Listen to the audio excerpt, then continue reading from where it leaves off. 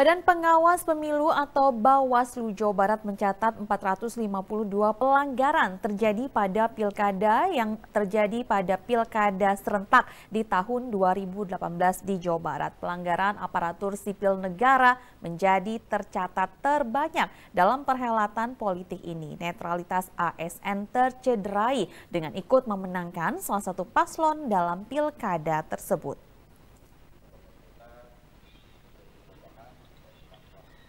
Usai memberikan pengarahan pada sosialisasi hasil pengawasan penindakan pelanggaran dan penyelesaian sengketa